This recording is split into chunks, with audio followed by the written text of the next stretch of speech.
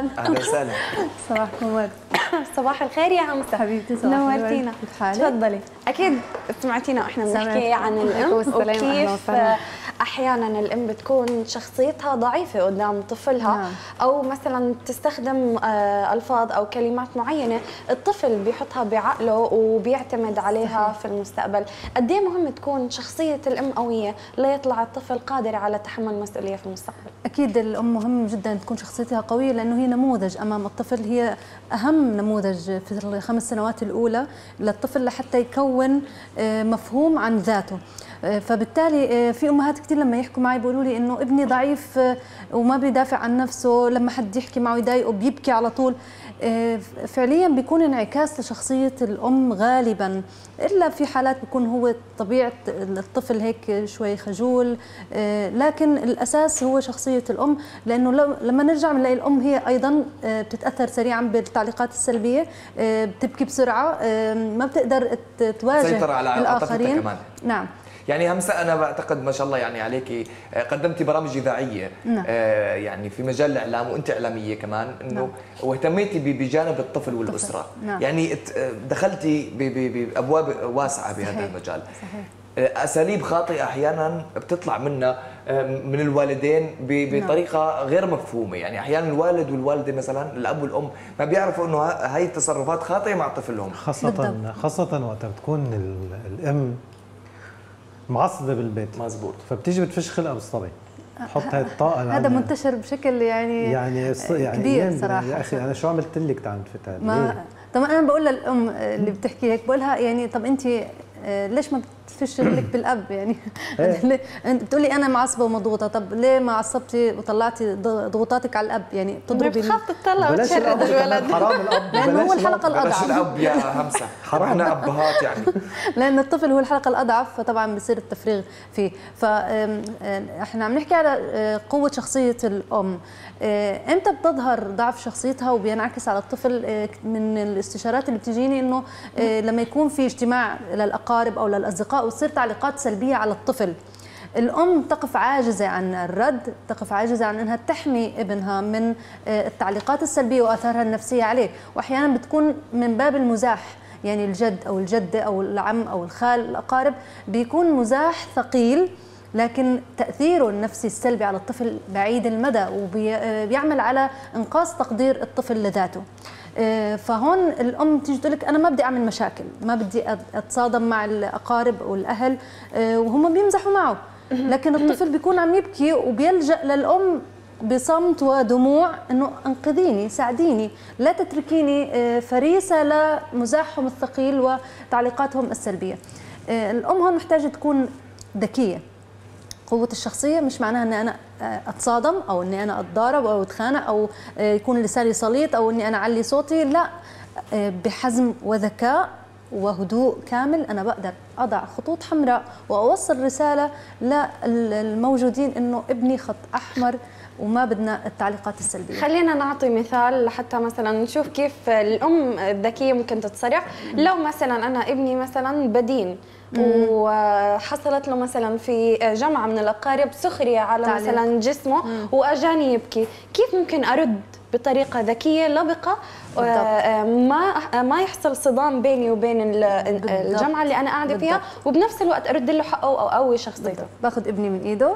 تعال تعال يا ماما. بوقف قدام الكل. لو سمحتوا آه، فلان ما شاء الله ماشي معي على نظام غذائي وعم يسمع كلامي وعشان إنه هو يصير جسمه قوي وسليم. ما تجيب سيرة البدانة ابدا عشان يصير جسمه قوي وسليم. وهو ماشي على النظام الغذائي اللي إحنا اتفقنا عليه إنه نقلل الحلويات والشوكولاتة. لكن لو سمحتوا آه، ما حد بعد هيك يعلق ويقول هذا الكلام. تعيد الجملة اللي قالوها. ما حدا يقول هذا الكلام لأنه لو سمحتوا أنا ما بقبل حدا يقول له هيك. هي هون وصلت الفكرة بطريقة لبقة. لازم تكون حازمة. اللي بده يزعل يزعل. صح مدام إحنا قلنا أغلى من ابني. نعم إحنا قلنا ال- الرسالة بطريقة لبقه جميلة. أنا هون أكدت لابني إني أنا سندك أنا أمانك أنا موجودة وقت ما تحتاجني والتعليقات السلبية هاي حتخف مع الوقت هي ما حتقف آه، من الأول. لكن حتخف مع الوقت وحتوصل الرسالة للاقارب واحد ورا الثاني إنه آه، هذا الولد عنده خط أمان يحميه والطفل حيصير بعد هيك هو اللي يرد بهذا الرد. إحنا ما بدنا نكون دائما إحنا ال- ال- آه، اللي نرد عن الطفل. انت بعد هيك قول- أعطيه ال- العبارات اللي هو يرد فيها بطريقة لبقة. حتلاقيه مع الوقت كل ما كبر صار عنده الشجاعة إنه يقول لا أنا ماشي على نظ- نظام غذائي وأنا ما شاء الله كويس وعم وجسمي بس قوي. جسمي قوي. أيوه وأنا وأنا بحب نفسي هيك. آه، عايزة- لازم يحب نفسه. للأسف اللي عم لازم بيصير يحب العكس. أيوه اللي عم بيصير اللي عم العكس بيصير العكس اللي هي بتحس إن الأم أيام بتيجي بتاخذ تحس بالحرج. هي بتحط بتصير أحياناً على الطفل. الطفل. بصير بصير بالضبط. صبي حرام ما ما لا حول ولا قوة أيوه إلا- بتصير مش عارف تضغط شو. عليه وبتصير آه، آه، بطريقه آه، قاسية وعنيفة تمنعه عن الأكل فبصير رد فعل عكسي عند الطفل إنه هو يتمسك أكثر بالحلويات إحنا ما عندناش ثقافة لأ بشكل مظبوط نعم. إحنا لأ لأ على نعم. طول دون لا نقاش ليش؟ من دون سبب بالضبط دون, دون ما نشرح. دون إن إحنا نشرح إنه ليه أنا بقول لأ على الشيء ده بل نعم. بالعكس أحيانا آه، الأمهات بتساعد الأطفال على ارتكاب ال ال الأخطاء أو أفعال الخطأ اللي هو اضرب عمه إذا اللي يشتمك في المدرسة اشتمه واضربه اللي يقول لك كلمة وحشة. الأمهات بتفهم إن دي قوة للأسف الشديد. وبيفضل الطفل معتمد على أمه في كل حاجة أنا والله. ماما قالت لي كده أنا ماما قالت لي اضرب اللي يضربك واشتم اللي في. جزئيه مهمه من قوة شخصية الأم في مواجهة عنف الأب. في كثير من الأسر فيها عنف آه، تجاه الطفل خاصة من من طرف الأب آه، لما يكون عصبي. والأم لما تكون ضعيفة الشخصية بتقف عاجزة أمام عنف الأب وتقف تتفرج. هي مقهورة صح ومتضايقة على ابنها لكن مش قادرة تدافع عنه ومش قادرة إنها آه، تمنع العنف الواقع عليه. هذا كمان كثير خطر تأثيره على الطفل لأنه هو أيضا بالنسبة له مصدر الأمان مين هي مامته ماما مظبوط. فأنت لما توقفي عاجزة أمام الأب لا في أمهات بتقول لي إنه طب ما أنا إذا تدخلت حيكبر الموضوع أنت من البداية لما ت... ما هو العصبية عصبية الأب ما حتحصل من واحد عشرة يعني صحيح. هي ب- في تدريجياً إشارات في إشارات. بتبين إنه الأب حيعصب فأنت اسحبيه من المشهد أصلا ما تخليهوش موجود لحد ما توصل عصبية الأب للضرب. فأنت اعملي انسحاب تكتيكي للطفل من من أمام الأب لا تخليه بس يفرغ ما هو يتعود على كده. يا سلام. لا تسحبه هي بطريقة مش إنه تهربه لا إنه تسحبه. ماما آه، تعال شوي أنا بدي إياك جوا. يعني فاهمة؟ لأنه حست إنه الأب هو في مرحلة غضب مرحلة انفجار. فهي لبقة الانفجار لا تعرضوا لهذا الشيء لأنه هو أنا بحكي على الأطفال الصغار عرفتي كيف؟ آه، لكن لما يكون أكبر في مرحلة المراهقة لازم نعود آه، آه، المراهق إنه هو كيف يحاور كيف يناقش الأب. ما آه، آه، آه، يعني يخاف ولا يهرب ولا يتصادم. أنا اعلمه كيف يكون في حوار بينه وبين أحيانا الأب بيكون معصب وبيضرب المراهق وهو مش فاهم الفكرة شو اللي صاير. طب والمراهق واقف وساكت والأم ساكتة. طب علميه كيف يشرح؟ يا بابا لو سمحت أنا ما عملت هيك. أنا ما كان قصدي هيك. اشرح. همسة.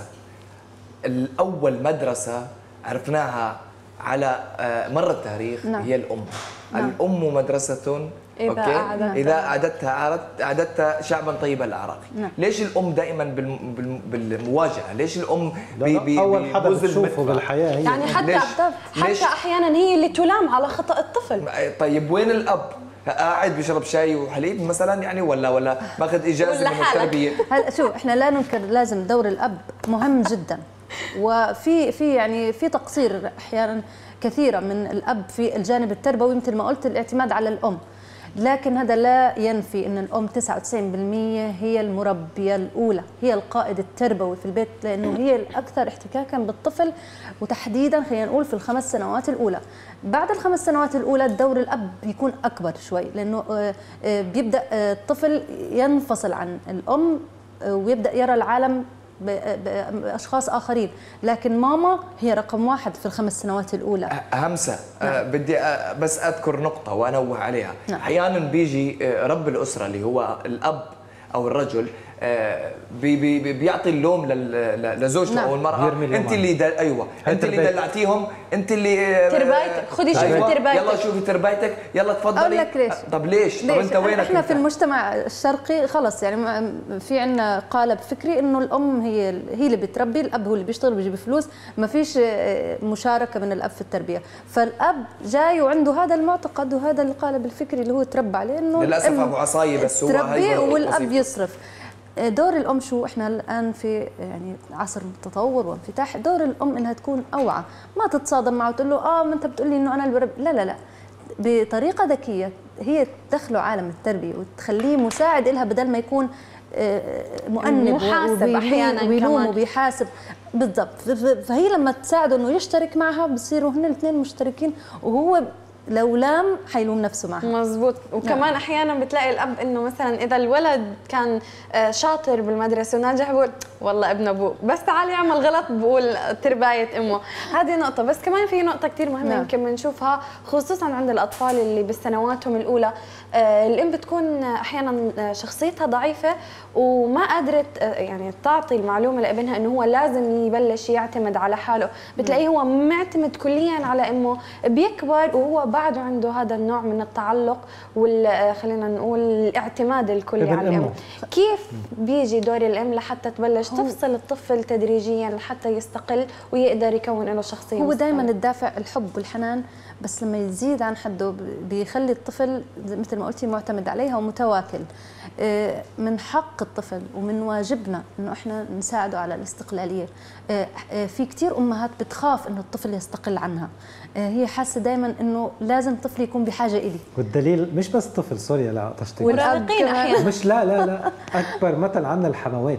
نعم أيوه فانت بس مش. بس طفل حتى بس حتى يكبر لما وبده يصير يتجوز زوج ويكون. أكبر مشكله عنده اياها إنه أنت أنا أنا ربيت لك هذا ربيت لك هذا تحملها جميلة، الرجل، ماخذة. تعطيك إياه على الجاهز نعم وهون نعم. بتيجي مشكله هون لازم يكون في ذكاء تعاون من الزوجة تجاه الأم لما تشوفها أنه هي هيك متعلقة بالابن تراعي مشاعرها. إحنا يعني بالنهاية هاي أمه ربته بدنا نقول 30 سنة فأنت بدك تراعي مشاعرها ما. حينفع ما حينفع أنك أنت تتصادمي معها وتحسسيها أنه هي فقدته فعلا. حتخسريها وحتخسريه هو لأنه هو أيضا حيكون متعلق فيها ومتأثر فيها فحيعتبرك عدوة حيعتبرك إنه انت حرمتيه من أمه. لا انت بدك تكوني ذكية بانك انت تكسبي الأم عشان توصلي للرجل بالظبط وهو كمان يوم ما تعاملي مامته حلو أكيد هيحبك طبعاً. بس لو أنا هتكلم على مرحلة مثلا الخمس سنين ست سنين نعم. الأطفال اللي هي المرحلة بتتأثر بالأم بألفاظ الأم بحركات طبعاً. الأم بإيماءات الأم حتى أحيانا بنلاقي أمهات drama queen 24 ساعة نكد وعمالة تعيط أيوة. وشفتوا أبوكم فبياخدوا الأطفال كمان نفس, نفس نفس قد إيه. مهم إن أنا كأم أنتبه كمان على ألفاظي قدام أطفالي وعلى حركاتي وعلى ايماءاتي ال drama queen هاي بتتحول مع الوقت لمتلازمة. أنا بسميها متلازمة النكد. حلو المصطلح. فالطفل فعلا يعني بلاقي أمهات بيبعتوا لي ابني نكدي ابني 24 ساعة بيبكي ونكدي. طب ما من وين؟ من البيئة اللي حواليه. هو مزبوط. بيمتص مثل اسفنجه بيمتص البيئة من السلوك اللي حواليه وأولهم انت اولهم انت يا ماما آه، لما يشوفك على طول نكدية على طول معصبة على طول بت- بتصرخي على طول متوترة كله بينتقل للطفل وبيصير هو نسخة عنك وانت بس انت مش منتبهة انه هذه انت هذا هو هو انعكاسك هو مرآتك في في خطأ كمان كثير كبير همسه اللي اللي نعم. بيقعوا فيه الأزواج اللي هو آه، يعني آه، صحيح إحنا عارفين دور الأم والعاتق الكبير على على كتفها اللي هي دائما نحن كأطفال مثلا بنزن. على الام يلا ماما بدي هيك يلا ماما طلعينا يلا ماما سوي. لنا فهمت علي؟ فانه إنه كمان هو هي بيقولوا الست زنانة بس كمان الأولاد ازن ما هو يعني يا. دوب تتحمل أنت ليش أنت تقول له؟ لا. وتنهي الموضوع. أنت. ليش معصب منهن من هلا يا أمجد. لا, لا امجد بس إنه أحيانا في بعض الخلافات الزوجية نعم. اللي بصير أمام الأطفال بتأثر على حياتهم بتأثر على طبعاً. سلوكياتهم في. المدرسة. بس شوف أوكي. الزن الزن هذا من آه، أساسيات الحياة عند الأطفال. هذا هذا من ضروريات الحياة هذا أكسجين الأطفال. فما نزعل منهم. ليش؟ لأنه هذا آه، خلينا نقول سلاح الطفل في الحصول على ما يريد. هذا قوة إرادة الطفل إنه هو يضل يزن يضل يزن. آه، لما نعصب رد فعلنا إنه إحنا عصبنا صح؟ الطفل بيدرك إنه يعني بس بيربط بين هدول السلوكين بصير يستفز أكثر صح. إذا أنت حتعصبي حتستجيبي لي. إذا أنا أستخدم نفس أحياناً- الأسلوب معك. نكون لازم- relax relax آه آه نسمع. آه عارفة ليش بيزن؟ لما نتجاهله لما آه ما نعطيه أهمية لما آه نعطيه إجابات غير صادقة. أو غير مبررة أحيانا. وما فيش مبررات. صحيحة. اسمعيه أعطيه مبرر صادق وصحيح اشرحي له.